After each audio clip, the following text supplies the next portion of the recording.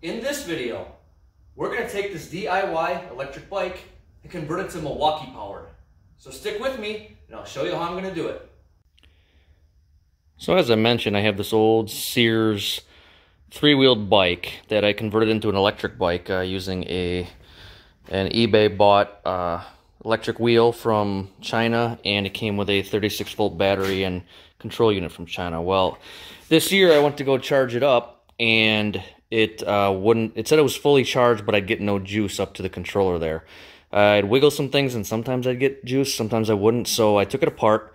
I'll show you what we're dealing with over here on the bench. So I wound up taking the, the battery pack apart and um, I tested to see where I was at. So I did find out I did have 36 volts, 36 plus volts in here. Um, so it did take a charge last time I put it away. But um, you know, just testing here, I got 36 volts. On this side, I've only got 31 volts. So right here is my charging circuit, okay?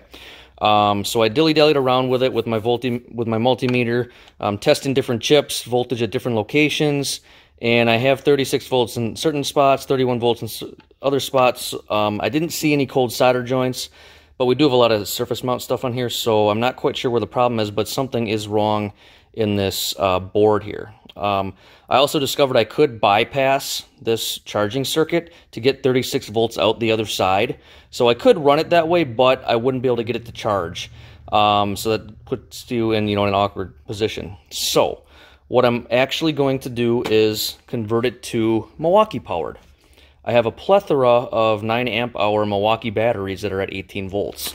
So I got some of these adapters here. There's a guy online that uh, 3D prints these. I've bought several of these, but basically it's just uh, it taps into the plus and minus in your Milwaukee battery, and it has some wires here. So I'm going to wire two of those together in series to get my 36 volts. Now I did bench test this. I uh, set up two of my Milwaukees on my bike over there and just ran some jumpers and wires down to the control unit and it did power it up and run it and I took it for a, a spin in the backyard and it seemed to have just as much power as this guy did. Um, from what I gather on this it has around 10 10 to 12 amp hours. My Milwaukee's got 9, so I don't run it for that amount of time, that long amount of time, so that should work out. So what I'm going to do is show you how I'm going to set up and do this, and then uh, we'll do a test run. So uh, stay tuned. Alright, so here's what I'm going to do. I found a piece of, uh, looks like a 1 by 6 laying around here in the shop, so um, I'm going to just line it up on the edges here, pull it as far forward as I can so I can have you know, good access to my buttons here um, space this stuff out and then mark it and cut it off right there. So I'm going to go ahead and cut that off and I'll show you what I'm going to use for screws once I get that all, uh, all set and ready to go.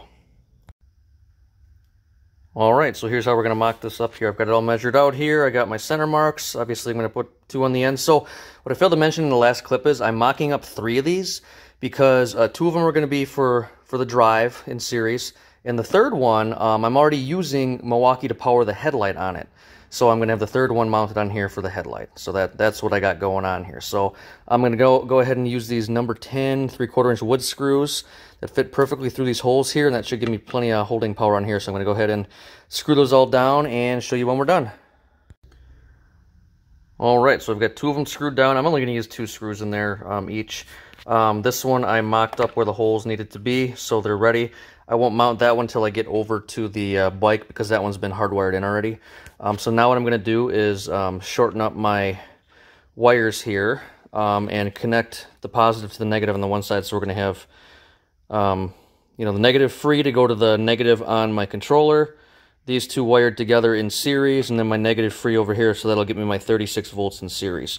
So I'm going to go ahead and snip these two wires down and um, show you how I'm going to put them together here. Um, I've got some quick solder connections and I'm going to show you how those work. If you've never used them, they actually work really good. So uh, give me a moment, I'll mock that up and explain to you how those work. Alright, so here's what we're going to use to solder this together here. So I mentioned, uh, you know, quick connect solder fittings here. So here's what we got. Uh, it's basically a piece of shrink tubing. So the blue bands shrink tight along with the rest of the plastic or rubber whatever the material this is, vinyl. Um, and then in the middle here, we have some low temp solder. So you, you uh, strip the ends of your wire, um, stick them both in the middle there, and you heat it up with a heat gun, and it melt the solder melts on and melts it together. So um, here I've got mine mocked up. Um, you can see I snipped the ends of the wire.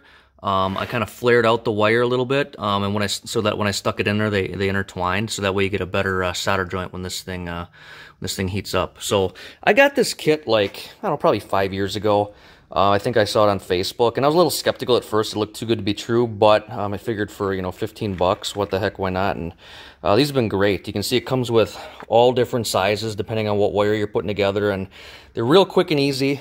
Um, it makes a good tight fit, real strong. I haven't had any failures with them, so um, it's a pretty good investment. So uh, if you're looking for you know something good and cheap to use, uh, this is how you do it. So um, I'm gonna go, go ahead and grab my heat gun here. And um, I'm going to heat this up and show you how that works. You just heat it up until everything shrinks down nice and you're going to see that solder melt. And then um, once you see the solder melt and get intertwined in there, then you just uh, leave it be. Let it cool off. So here we go.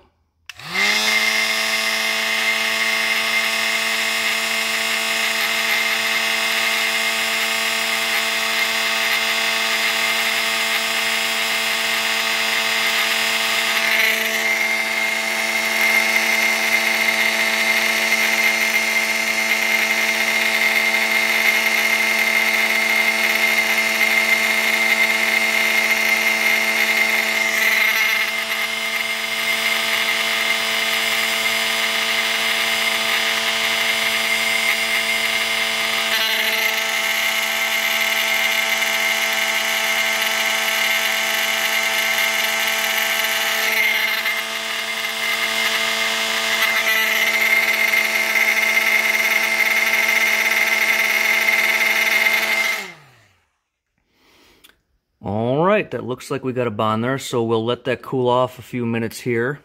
Then we'll go ahead and give her the old tug test, so uh, stay tuned. All right, things have cooled off here, so yeah, we can go ahead and give her the old tug. She's nice and firm. Um, off camera, I went ahead and I snipped the leads off of my old battery pack here. I left them kind of long in case I do want to try to fix this someday, but for now we're going to see how this goes. So then I, I did the same thing here. I took my leads and I um, using my quick solder connections there too, so those are all nice and firm. So now we'll uh, head over to the bike and give, plug her in and give her a test, see how she works. So stay tuned. All right, we're over at our bike here. Um, I've plugged in my leads to my controller here. Uh, no sparks, nothing's getting hot, so that's a good sign. So now we'll go ahead and push in our power button, see what happens here. She lights up and says she has full power. All right, let's give her some throttle and see what happens.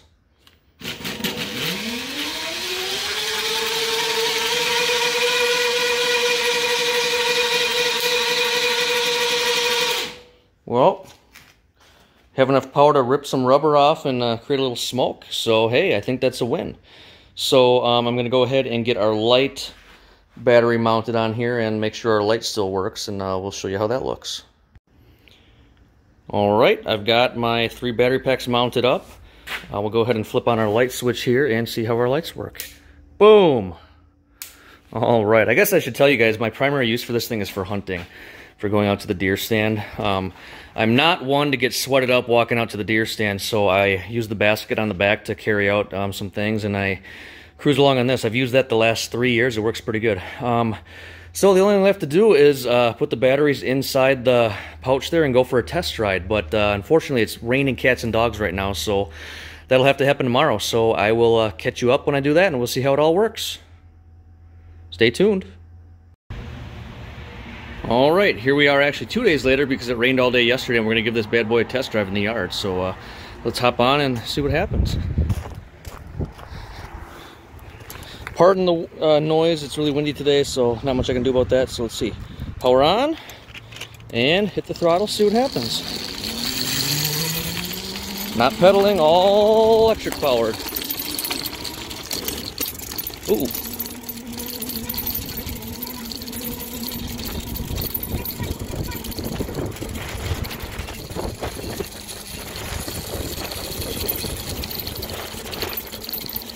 Uphill now, doing pretty good.